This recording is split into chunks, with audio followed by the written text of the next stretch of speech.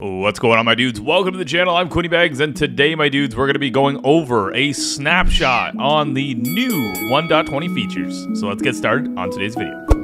Alright, so to start this video off, we're going to check out the brand new Sculk sensor, and it might be looking a little funny to you. As you can see, this Sculk sensor has an amethyst shard smashed into the center of it versus our regular Sculk sensor like this. Now, this new Sculk sensor is called the Calibrated Sculk sensor, and it's got some cool new features we're going to be going over. Now, first, you might be wondering, how do I get one of these? Well, all you got to do is find one Sculk sensor, and then you actually have to craft it using amethyst shards, just like that in a triangle formation here, and you get the calibrated sculk sensor. All right, now these things are a little bit tricky, and I haven't done a ton of research on them, and I haven't played a lot of Minecraft recently with Redstone, but how I'm gonna understand this is one side of the calibrated sculk sensor can receive a redstone signal as an input. So when you actually set up that input and turn it on, you've now silenced this Sculk sensor. Now, I don't know if that works the same with other Sculk sensors. We can take a peek right now just to see because I haven't really played too much Minecraft recently. So I'm not 100% sure if that's how these things work anyways.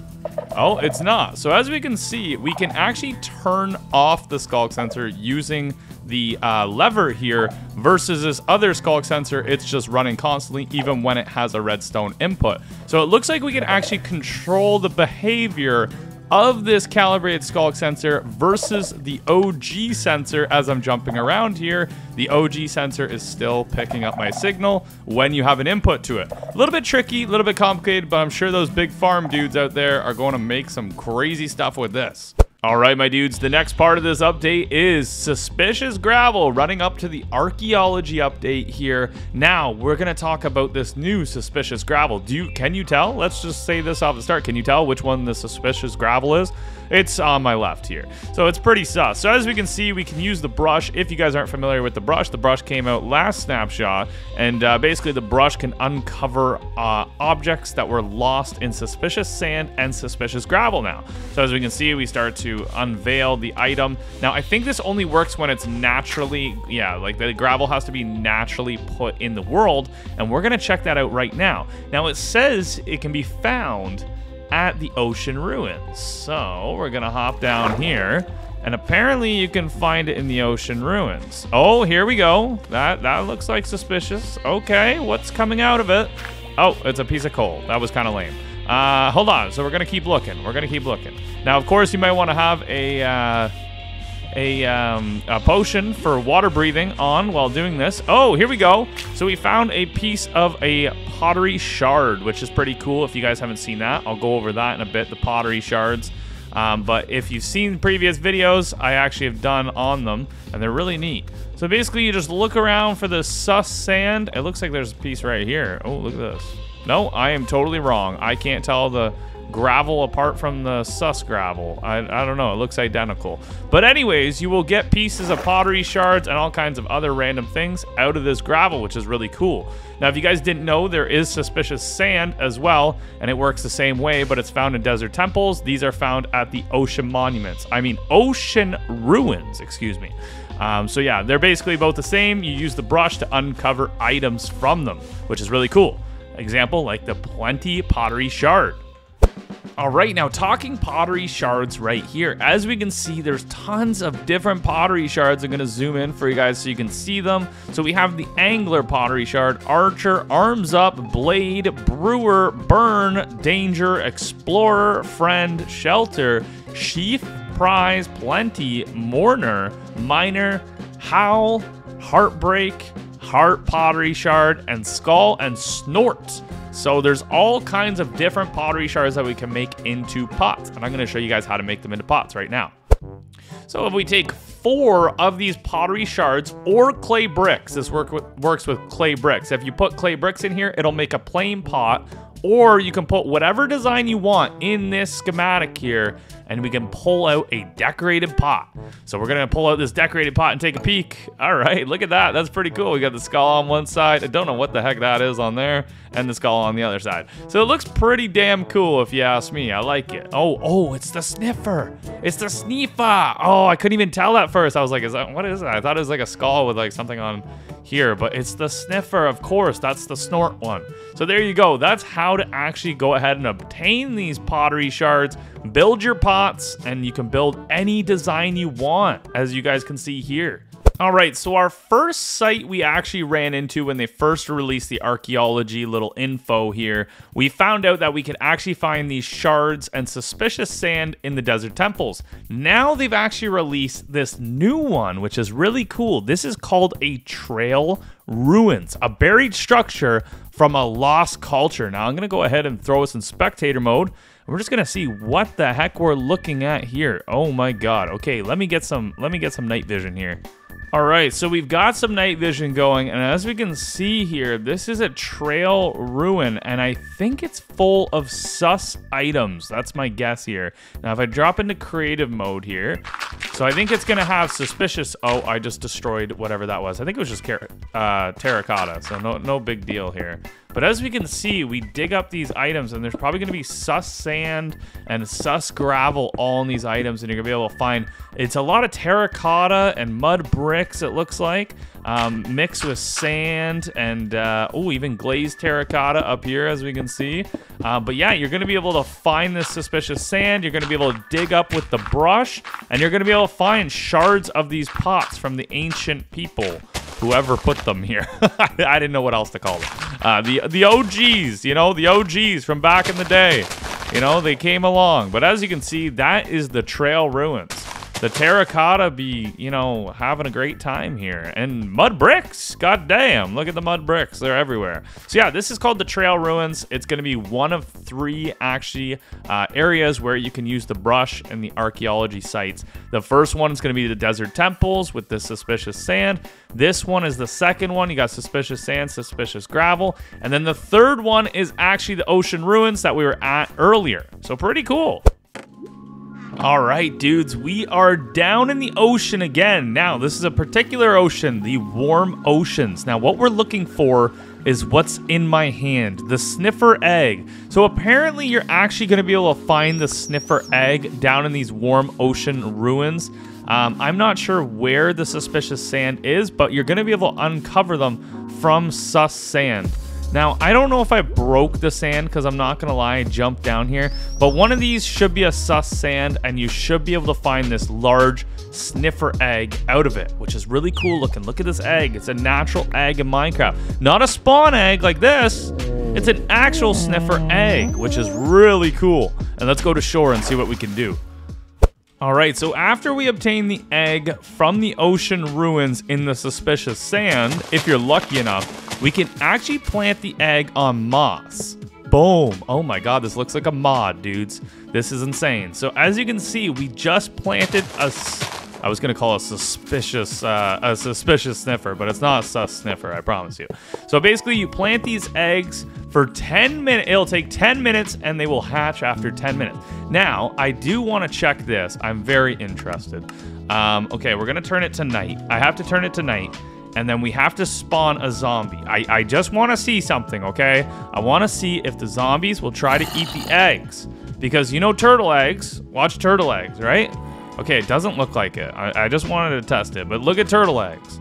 I, I, aren't they supposed to attack turtle eggs? Okay, maybe this zombie's just stupid. Maybe that zombie's just stupid. There you go. Okay, they jump on them, right? They jump on them. It doesn't look like they jump on these. Okay, that's awesome. That's good. So our sniffers aren't going to die. Well, not yet, at least from this update. All right, coming into this update, we actually have a new seed the sniffer can pop up. Now, if you guys didn't see the torch flower seed, this is the torch flower seed, and this is the torch flower. Before, he would just, you know, go ahead and sniff up these torch flower seeds in the last update here. But now, and then they turn into that torch flower, which is really pretty, don't get me wrong, and then you can turn it into orange dye. But don't get me wrong, that was cool. But now you can actually get the pitcher pod. Now, I don't know how this works yet, so we're going to figure it out together. So apparently you take the pitcher pod, he can basically sniff it up. You get it from him right? You go ahead and collect it from them. Dude, we're gonna make we're gonna make so many farms out of these sniffers. You're gonna put them in one area, all on top of hop. Well, I guess can't do it on top of hoppers, but we'll fi we'll figure it out. Oh, you could probably do something. You probably run a railway system underneath it. But boom, as you can see, he just go ahead and uh, got us a torch flower seed. But we get the pitcher pod. So the next thing we're gonna do is get a hoe. Excuse me, but ready for this? All right, we got the hoe. And uh, we plant the pitcher pod in there. Then we're going to go ahead and get some bone meal. Just wait for it. Hold on. Wait, wait, wait. And boom, boom, boom. Oh my god, I haven't seen this. So this is my first time seeing it. That's really pretty. Now, just real quick, when we go in survival mode, can we harvest it? Oh my god, you can. What the heck is this? It's like an alien. It looks like an alien. What do you guys think? Oh, now it's lower. Did you notice that versus the one we actually uh, planted first? Watch this. So when you plant it, oh, you plant it in the pod and then it grows out of the pod. Wow, that's so cool. I like it. What do you guys think? Let me know in the comments. I actually really think it's cool. It's definitely a weird looking... Now, hold on. Whoa, whoa, whoa, whoa. Before we move on to a different section here. Hold on. Let me see if I get some bone meal. Can I duplicate this boy?